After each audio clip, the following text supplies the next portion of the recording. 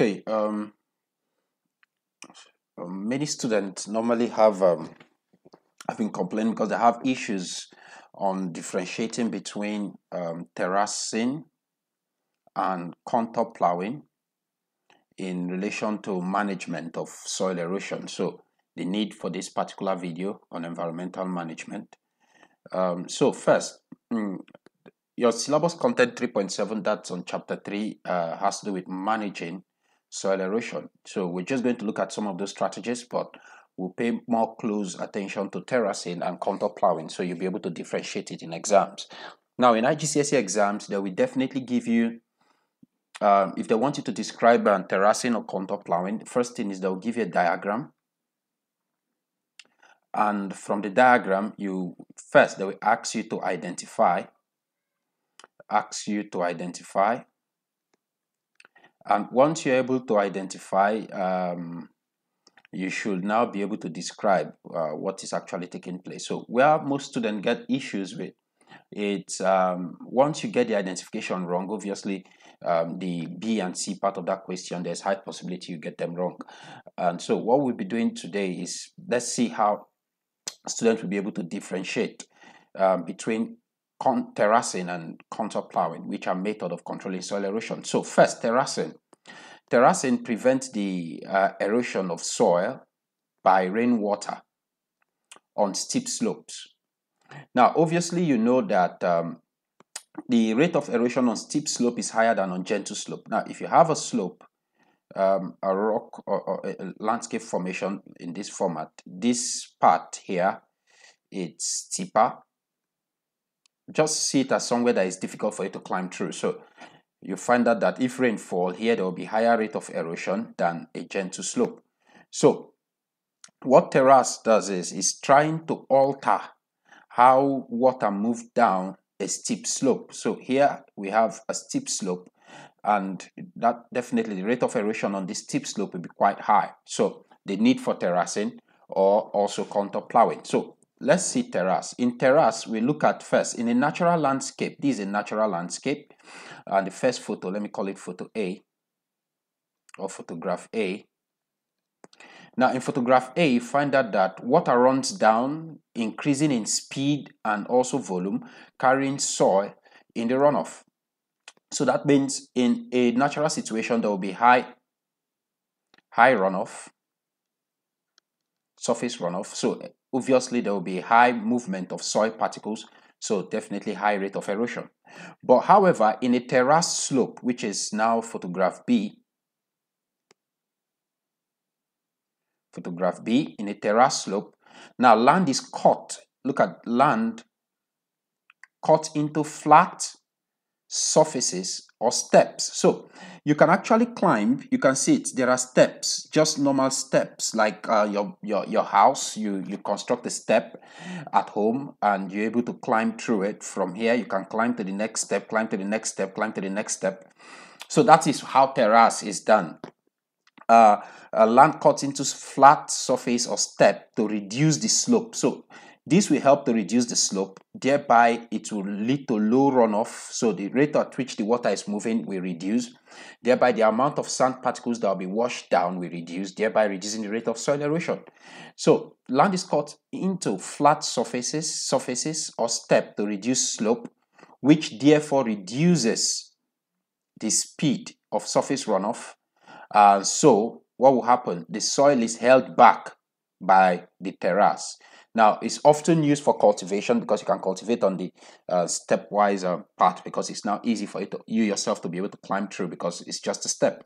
Now, but in the case of contour plowing, there are two keywords you need to know, which are ridges and trough.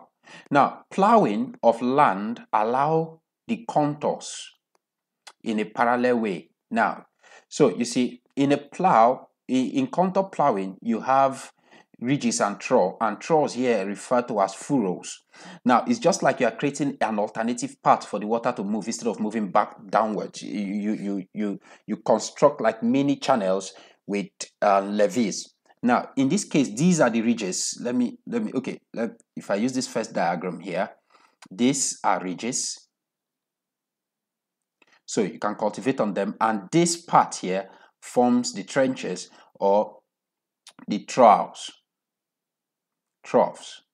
So obviously, if you look at it here, this part we form the um, ridges. These are ridges, and this part here is troughs. Now, this trough is, is, a depre- is, is, is a depression. So, if you look at a river, a river channel usually have um, two banks,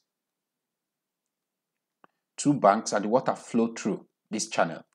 Now, once you are able to have a raised bank, so what we call flooding is if this water is able to fill up the bank and flow to the edge of uh, flow to the floodplains. But if you have a raised bank, which is now the ridges here, you find that more of the water will just flow through the channel without splitting out.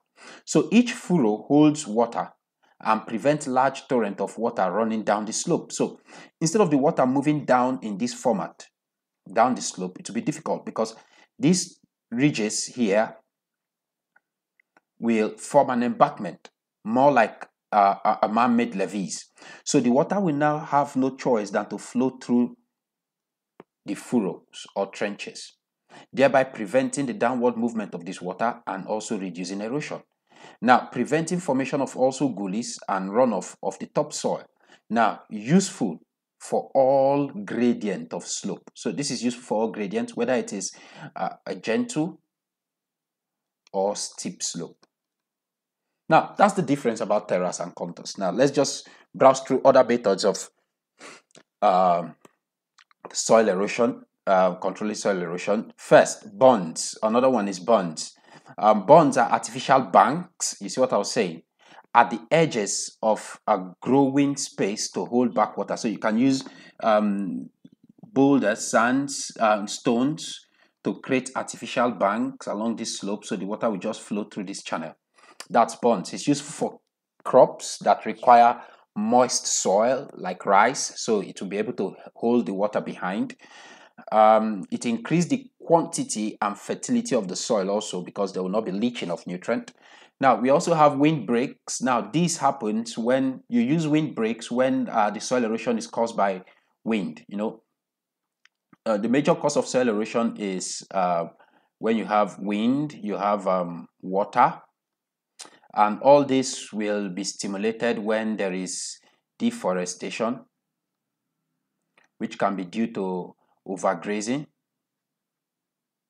overcultivation, so uh, the soil will now be what? Exposed to either wind, water, and sometimes ice to move the soil from a particular point to another. So you trees here and vegetation can act as wind breaks uh, to reduce the speed of wind to cause soil erosion. Uh, next, you can have uh, maintaining water, maintaining vegetation cover. Uh, so sowing uh, legumes, leguminous plant uh, immediately after a crop has been harvested will help to prevent soil being exposed and prevent soil erosion and also leguminous plants. Remember they are rich in nitrogen so they will add nutrients to the soil making the soil more fertile. Then you can have no dig method. That means you see this is the soil. You don't dig the soil. You don't you don't you don't ridge it. All you do is you just add um, manure and you plant on top of it, leaving the soil the way it is so it will be compacted and thereby there will be reduction in soil erosion in that process. Okay, that's all I, I, I'm meant to look at and the major concept is to differentiate between terrace and